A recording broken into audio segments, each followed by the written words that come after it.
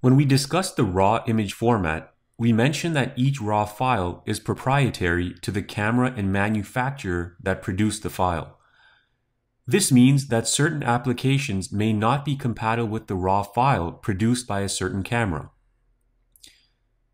You'll often experience this if you purchase new equipment but use old editing software, such as older versions of Photoshop or Lightroom. In some cases, even newer applications may not be able to read your file.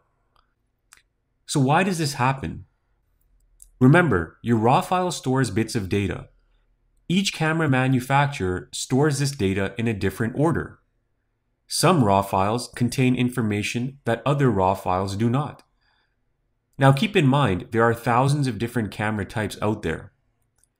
This inconsistency, coupled with the volume of camera types and manufacturers, makes it challenging for software applications to simply open and interpret any RAW file. Take a look at this chart, which shows you just a few of the different RAW file formats from different manufacturers. Two popular ones here that you might recognize are the Nikon.nef file and the Canon.cr2 formats. The metadata format in each one of these RAW file types is different. This makes it challenging for a single application such as Lightroom and Photoshop to work with so many different formats. To resolve this issue, the DNG file, or digital negative, was created. This format is a lossless raw image format written by Adobe and specifically used for digital photography. The DNG file format offers a much greater level of compatibility with Adobe photo editing applications. It is considered universally accepted because it specifies exactly how a RAW file should be written so that each manufacturer knows what order to store raw data in.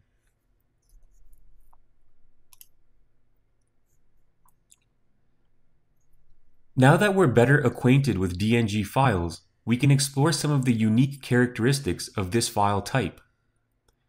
First, DNG files are supported by several dozen software and camera manufacturers. The format was created by Adobe but it is openly documented and openly licensed. This means DNG files have an increased probability of remaining accessible far into the future. DNG files are also known to produce smaller file sizes, typically 15 to 50% smaller due to better compression algorithms.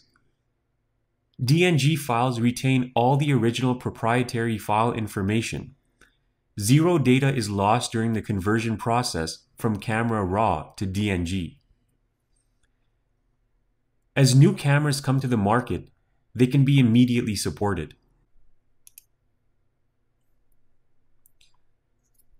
Similar to the DNG file format, the TIFF file also offers 16-bit color depth and lossless quality. For this reason, similar to RAW and DNG files, they're also much larger in file size than compressed formats such as JPEG. When we export photos from Lightroom to Photoshop, they're exported as either TIFF or Photoshop's native file format, PSD. One of the benefits of TIFF files is their universal application among many different graphic design and photo editing applications. PSD files are also considered less efficient than TIFF files in regards to image processing. Later in the course, when we export images from Lightroom into Photoshop, you'll notice that the TIFF file format is recommended.